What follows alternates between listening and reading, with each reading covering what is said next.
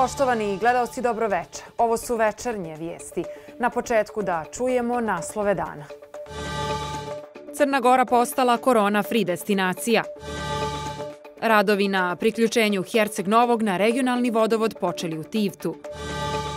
Rođendan radiotelevizije Herceg Novi obilježava se na nekadašnji dan mladosti. Nastavljeno takmičenje u sve tri bućarske lige. Vrijeme s jutra promjenljivo. Crna Gora je u nedjelju postala prva država u Evropi bez aktivnih slučajeva koronavirusa. Saopšteno je iz Instituta za javno zdravlje.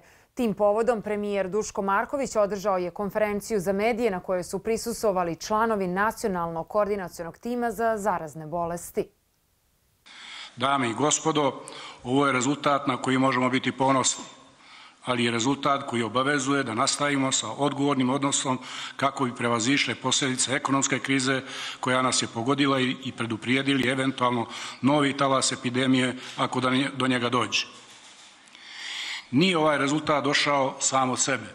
Naprotiv, dozvolite da napomenem da je nacionalno koordinacijno tijelo zasjedalo praktično svaki drugi dan i održalo 35 sjednica na kojima je donijeto 69 naredbi da je Crna Gora uspjela da bez uvođenja varednog stanja i bez policijskog časa bude posljednja zemlja u Evropi u kojoj je registrovan virus i da bude prva država u Evropi koja ga je pobjedila. Naša strategija je da uvijek budemo korak ispred.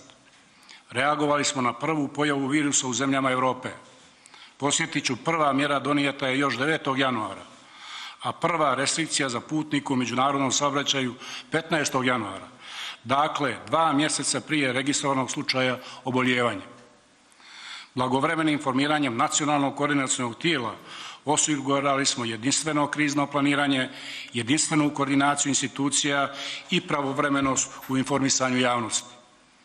Dodatno napominjem, Crna Gora ni u jeku epidemije nije zatvarala granice za svoje državljane i kada je bilo najteže, vrata naše kuće držali smo otvorenim za svakog našeg građanina ma gdje se god on nalazio. Radovi na priključenju opštine Herceg Novi na regionalni vodovod počeli su u Tivtu. Vrijednost projekta je oko 2 miliona eura, a rok za realizaciju je do kraja oktobra.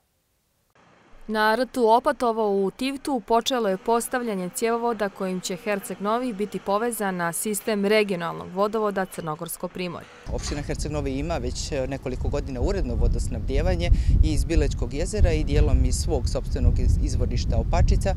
Međutim, sa druge strane, trebamo imati u vidu i cijeniti to da jedna od najvećih prednosti za jednu lokalnu samupravu i teritoriju grada jeste sama činjenica mogućnost vodosnabdjevanja iz dva pravca.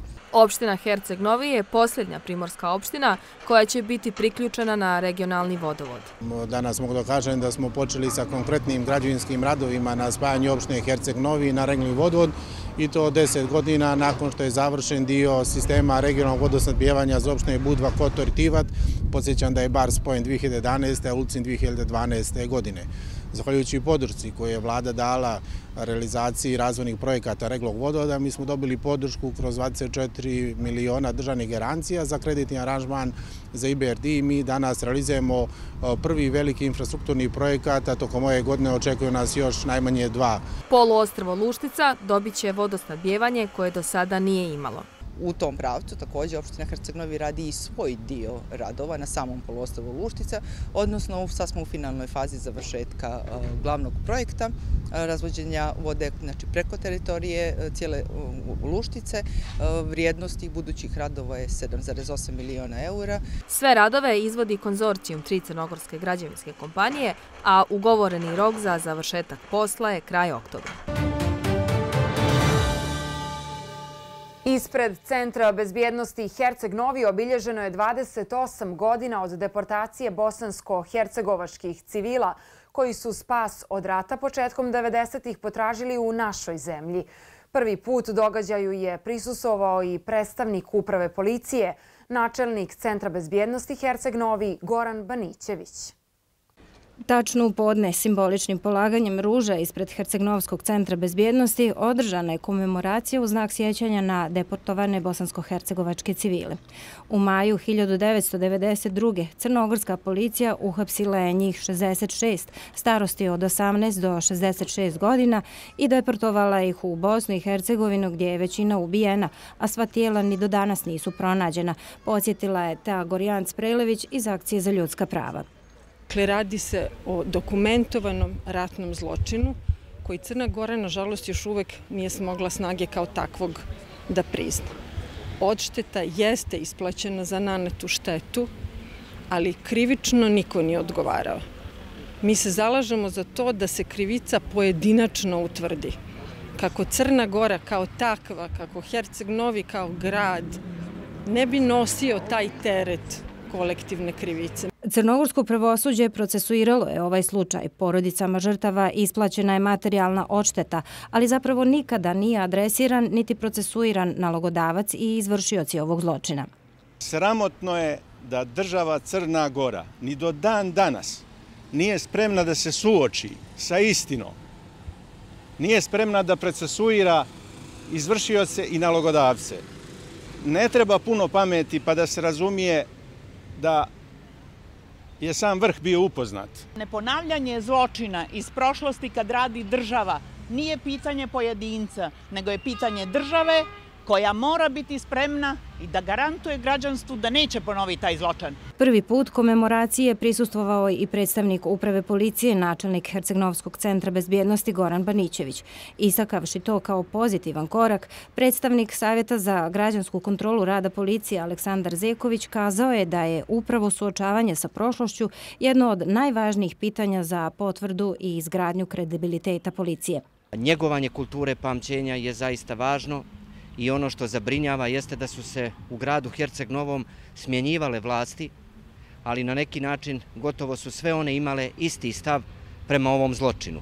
Zeković i Gorjanc ponovili su više puta pominjanu inicijativu da se ispred Centra bezbjednosti podigne spomen obilježje u znak sjećanja na deportovane civile. Memorialnom skupu prisustvovali su predstavnici nekoliko političkih partija, nevladinih organizacija, članovi porodica žrtava deportacije i građani Herceg Novog. Na današnji dan Socijalističko-federativna republika Jugoslavija slavila je Dan mladosti. Povod je bio obilježavanje rođendana Josipa Broza Tita, a štafete i sletovi bili su dio ikonografije u svim dijelovima bivše države.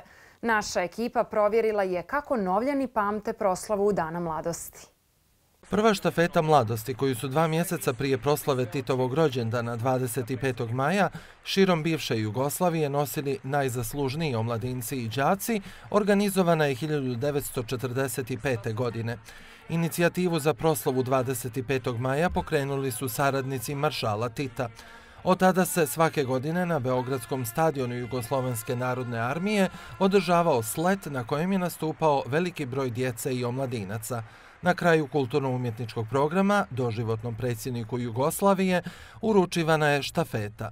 Prvu štafetu Titu predao je Mika Tripalo, tadašnji predsjednik Centralnog komiteta Narodne omladine Jugoslavije. Tivčanin Marko Perković nastavlja tradiciju obilježavanja Dana mladosti, jer kako kaže, to je dan za koji su svi živjeli. To je bilo vrijeme jednog zanosa, poleta, elana, ljubavi, svog oslanjanja jedne i na druge i jednog eh, strašnog kolektiviteta, otvaranje brojnih dostignuća naše privrede, tako da smo imali što slaviti, a Jugoslavija bila zemlja koja je imala šta, šta da slavi i znala to da slavi. Za mene Jugoslavija nije politički projekat, jer to je nažalost ispričana priča. Ali sve one vrijednosti koje imala Jugoslavija kaže da možemo biti doli samima sebi, da se sjetimo kakvi smo bili prije 30 godina. Kako pamte proslavu Dana mladosti, pitali smo Novljane. Nosio sam stafetu drugu titu. Sjećam kakav je dočak bio na stadionu te štafete. To ne može to zaboraviti nikad. Kakva vas sjećanja vezuju za taj period? Pa mnogo, mnogo lijepa i dobra i sigurna nekako isto kao prije 40-50 godina. on, veoma mi je drago i to mi je ostalo u srcu još. On, Jugoslavija je moja bila i uvijek će biti. I Tito, hvala Bogu. E, sjećam se pionira. Mi smo bili Titovi pioniri. I mnogi su danas koji su na vlasti bili isto Titovi pioniri. Ali su zaboravili na neke stvari. To je bio radostan dan, kao dijete se sjećam. Pionirska marama, Titovka na glavi, je li tako? Rođendan Titov. Bilo je lijepo svakako. Mladi smo bili. To je jedan običaj koji je ovako donosio neku radost među mladeze. Na posljednjem sletu, organizovanom 1987. godine, Raimonda Broćaj uručila je štafetu Hajmu Ređepiju, tadašnjem predsjedniku Saveza socijalističke omladine Jugoslavije. Tadašnji Savez komunističke omladine Jugoslavije ukinuo je proslavu 1989. godine. Na današnji dan 1981. godine u Etar je prvi put emitovan signal radija Herceg Novi. Naša medijska kuća obilježila je 39. rođendan. Tokom 39 godina postojanja Radija Herceg Novi, novinari, urednici, tonski realizatori, direktori i poslanici javne riječi stvarali su kvalitetne, informativne i kulturne sadržaje, slijedeći standarde i principe profesije, bili i ostali hroničari grada i vremena na jednom od najstarijih lokalnih emitera u Crnoj Gori. Mnogo je vremena prošlo od tada, dosta se toga promijenilo. Radio Herceg Novi je prerastao u radio televiziju Herceg Novi i sada evo već godinu dana blizu e, radimo na tom novom, da kažemo, projektu koji je od značaja za našu medijsku scenu. Danas se radiotelevizija i portal objedinjeni u javni radiodifuzni servis blagovremeno istinito i objektivno informišu o svim zvivanjima u političkom, privrednom i kulturnom životu grada, te promovišu istoriju, kulturu i identitet ne samo Herceg Novog, već čitave Boke. Sa punim zadovoljstvom mogu da kažem da već sada imamo e, kolektiv koji može da odgovori izazovima novog, da kažem, oblika novinarskog izvještavanja i informisanja javnosti kao lokalni javni servis i da najavim da već od početka juna krećemo u nove, da kažemo, pobjede, a to je e, ono što se dugo najavljivalo, to je konačno završetak tehničkog opremanja televizije Herceg Novi sa novom opremom, nakon koga ćemo biti u punom kapacitetu i imati mogućnosti za direktne prenose i takozvani live program. Radio će ostati jedan od značajnih segmenata ove medijske kuće, čiji su sadržaji iz dana u dan bogatiji i atraktivniji. Ono što je intencija radio televizije Herceg Novi E, to je da nekako integrišemo dakle, radio, da ga ne zapostavimo. To smo uspjeli uz emitovanje radio drame Mirko i Olga Komnanović narodu, što znači da ne zapostavljamo naše slušalce, a također da taj radio signal nekako integrišemo naš radio program i u televizijski e, program. A to uspijemo preko Novskog jutra, dakle sve popularnijeg jutarnjeg programa, ali preko hronike dana u 15 časova, preko još nekih emisija koje ćemo nadam se, u budućnosti uspješno realizovati. Rođendan gradskog radija obilježen je prigodnim koktelom kome su uz radnike prisustovali saradnici i prijatelji naše kuće. Postali smo neko ko se vrlo rado gleda i ko se vrlo često gleda. Veliki su napori bili da bi došli do ovoga trenuta gdje smo danas – ali takav je život. Život je vječita borba i samo treba ići naprijed. Povodom 39 godina rada i postojanja Radija Herceg Novi, danas je premijerno emitovana radiodrama Mirko i Olga Komnenović narodu, rađena u produkciji radiotelevizije Herceg Novi.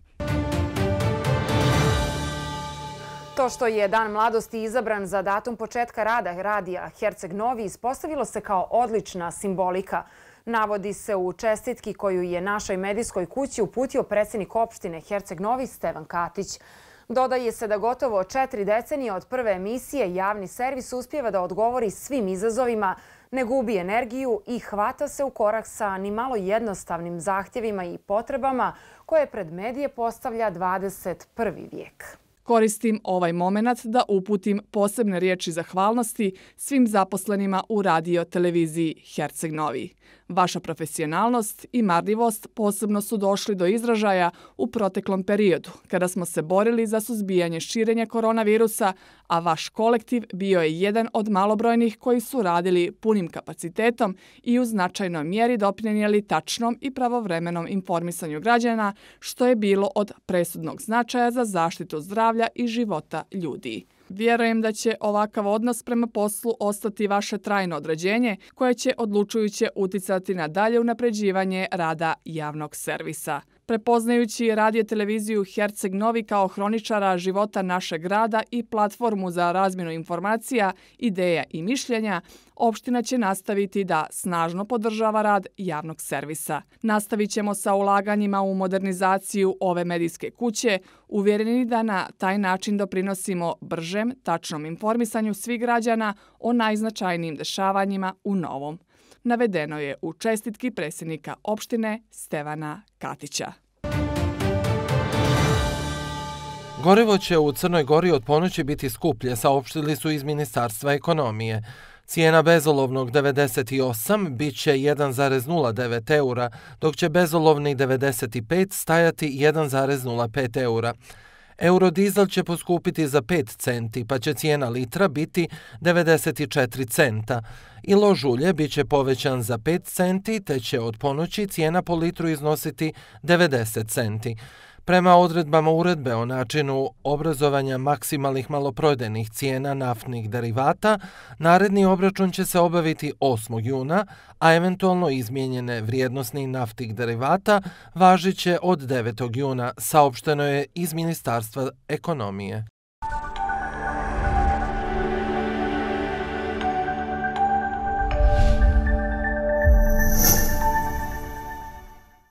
Nakon dvomjesečne pauze, početkom juna se nastavlja takmičenje u sve tri bućarske lige Crne Gore. Naša ekipa posjetila je zajednički trening bućara Vala i Meljina. Bućari Meljina i Vala odradili su zajednički trening na terenima u Meljinama. Dvije novske ekipe konkurišu za vrh tabela. Val u prvoj, a Meljine u drugoj bućarskoj ligi Crne Gore prvenstvo je e, počinje za nekih deset dana i mislim da će jedna i druga ekipa ući spremno Meljine, Bojčarski klub Meljine, e, borit će se za e, ulazak u prvu ligu i nadamo se da ćemo biti prvoligaš iduće godine. E, što se tiče Bojčarskog kluba Vala, e, i oni su pokazali zavidne rezultate i odlične rezultate i mislim da će i oni konkurisati kao i prošle godine za tu šampionsku titulu i ponoviti taj uspjeh. Ovo je tek početak, mogu se reći, početak priprema, svi znamo šta je bilo i kako je bilo bilo i ovo je tako reći prvi dodir posle, posle prvenstva završenog, tako da mislim da imamo još uvijek nam je ostao taj osjećaj koji ga ćemo naravno dograđivati sad ovih dana, koje moramo ubrzati malo pripreme radi početka prvenstva. Ambicije imamo da budemo prvaci države, to smo i dokazali zadnjih godina, dok ekipa Meljina je sa, kao favorit sigurno ulazi u prvenstvo u drugoj, drugoj ligi. Bućari Vala nakon odlične prošlogodišnje sezone imaju problema sa igračkim kadrom. Ipak nadaju se da će se kompletirati do početka sezone. Imamo problem sa igračem Mikulićem koji će ostati u Hrvatskoj da igra ove godine. Se tamo ovaj, organizacija radi Saveza i uopšte igra je privatno prvu ligu. Sa Šerovićem koji je naš igrač koji igra u Hrvatskoj. Sad trenutno ovaj, smo u fazi da dobije e, ispisnicu kako bi smo ovaj, imali i njega za naredno prvenstvo. Ove godine smo trebali da igramo kup šampiona, to je otkazano sve iz razloga ove korona e, virusa situacije i evo sad, kažem vam, napokon će početi prvenstvo. Nadamo se da ćemo i ove godine osvojiti prvenstvo. Bućari Meljina nakon osvajanja prvog mjesta u trećoj ligi. Apsolutni su favoriti u drugoligaškom takmičenju. Zajednička je ocjena svih poznavalaca bućanju u Crnoj Gori da je bućarski klub Meljin apsolutni favorit e, kada je riječ o takmičenju u drugoj e, Crnogorskoj ligi. Objektivno imamo i najkvalitetniju i najiskusniju ekipu i na nama je naravno da na terenu opravdamo to izborimo poslije nekih e, slobodno reći deseta godina povratak u prvu ligu. Bućarski šampionat u prvoj ligi počinje 6. juna, dok druga liga startuje 9. juna.